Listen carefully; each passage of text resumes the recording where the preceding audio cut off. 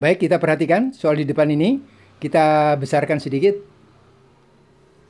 Ya, biar agak ke tengah ya sehingga kita mudah menyimaknya. Baik. Di depan ini ada soal pecahan aljabar. X kuadrat plus 5X plus 6 per X kuadrat plus X minus 6.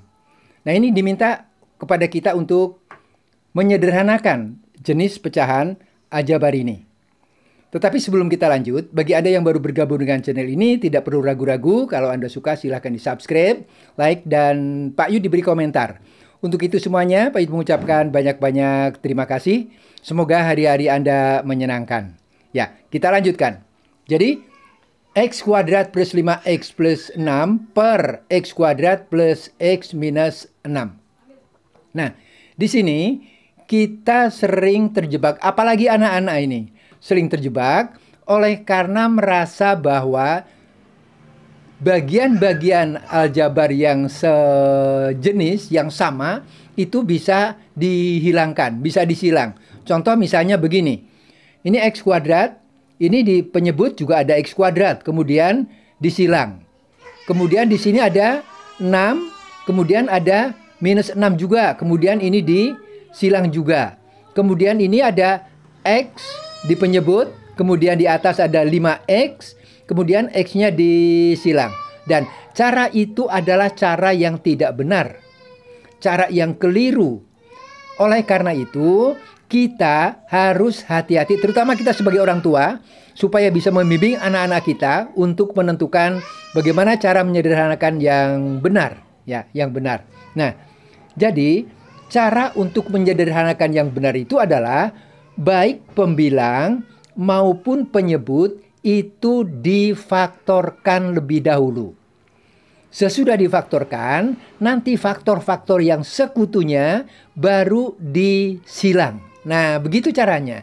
Begitu caranya. Jadi, prinsip ini, aturan ini betul-betul dipegang pada saat kita menyederhanakan sebuah pecahan aljabar yang seperti begini. Jadi kita ulang sekali lagi bahwa Pecahan aljabar ini bisa disederhanakan dengan cara faktor sekutu pembilang dan faktor sekutu penyebut itu harus uh, faktor sekutunya yang di yang disilang.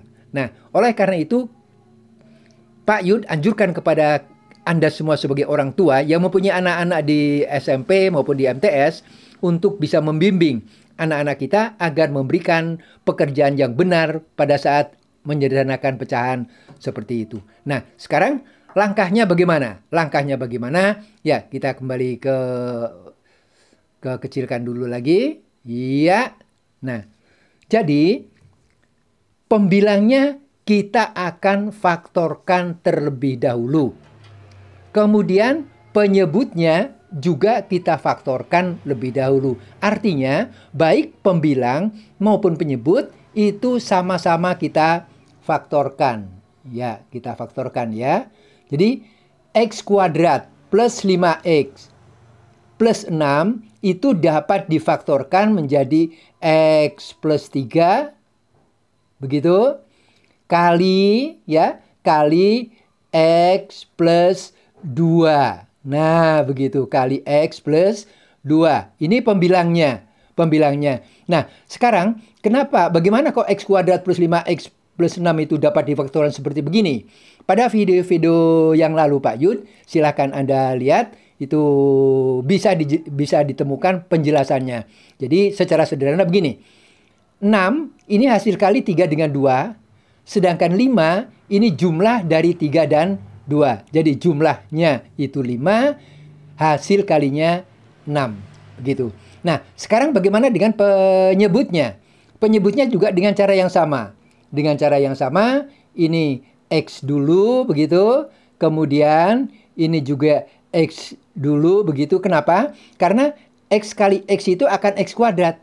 Nah sekarang bilangan yang hasil kalinya minus 6 dan jumlahnya satu adalah bilangan min 3 negatif 3 uh, eh, bukan negatif 3 tapi plus 3 ya dan minus 2 Nah, begitu.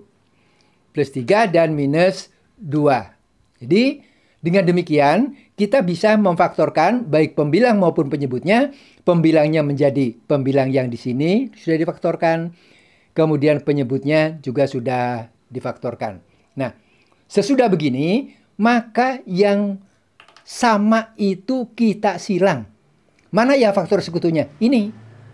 Ini dengan ini. Jadi yang tinggal apa?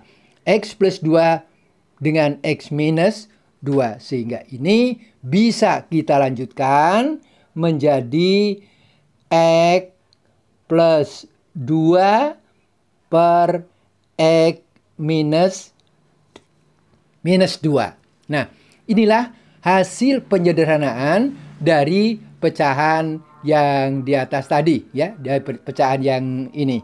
Jadi kita ulang, ini juga sudah sudah tidak bisa disederhanakan lagi. Tidak kemudian X dengan X disilang, kemudian 2 dengan minus 2 juga disilang. Itu tidak bisa begitu.